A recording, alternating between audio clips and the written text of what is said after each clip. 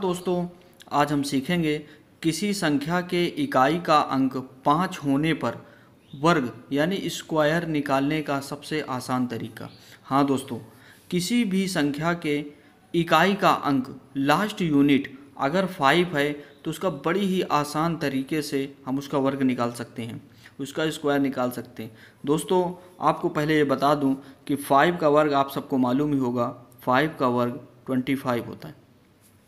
इसीलिए दोस्तों, और एक बात ये बता दूँ दोस्तों कि किसी भी संख्या के बाद आने वाली संख्या जैसे टू के बाद थ्री आता है, फोर के बाद फाइव आता है, सिक्स के बाद सेवन आता है, एट के बाद नाइन आता है। इसी तरह दोस्तों ये बाद आने वाली संख्या का प्रयोग पड़ेगा, हमें यूज़ पड़ेगा। आइए दोस्तों देखते हैं।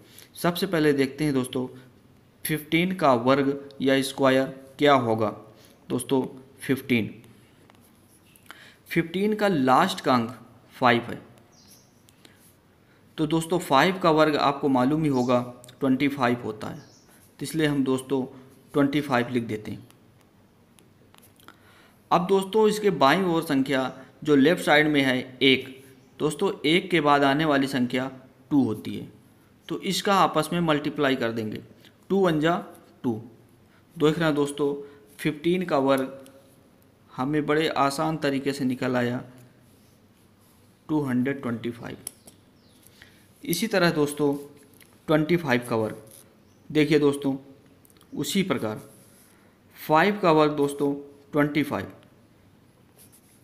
और टू के बाद आने वाली संख्या थ्री तो दोस्तों 25 उसी तरह लिख देते हैं और थ्री टू जा सिक्स है ना दोस्तों, आसान? आइए, आगे और देखते हैं।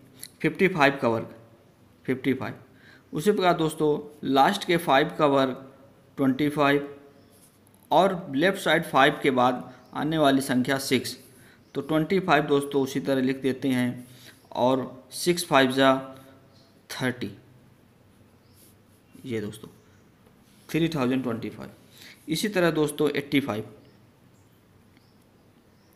लास्ट की सर फाइव का वर्ग ट्वेंटी फाइव और एट के बाद आने वाली संख्या नाइन तो दोस्तों ट्वेंटी फाइव उसी तरह लिख देंगे और एट नाइन जा सेवेंटी टू। देख रहे हैं दोस्तों। इसी प्रकार दोस्तों लास्ट नाइन्टी फाइव फाइव का वर्ग दोस्तों ट्वेंटी फाइव और नाइन के बाद आने वाली संख्या टेन तो दोस्तों ट्वेंटी फाइव उसी तरह लिख देंगे और नाइन टेन जा नाइन्टी थैंक यू दोस्तों। आगे नेक्स्ट वीडियो में थ्री डिजिट का तीन अंकों की संख्याओं का हम वर्क कैसे निकालेंगे, बहुत ही आसान तरीके से बताएँगे। इसलिए दोस्तों, हमारा अगर वीडियो अच्छा लगा हो तो इसको लाइक एंड सब्सक्राइब करना ना भूलें।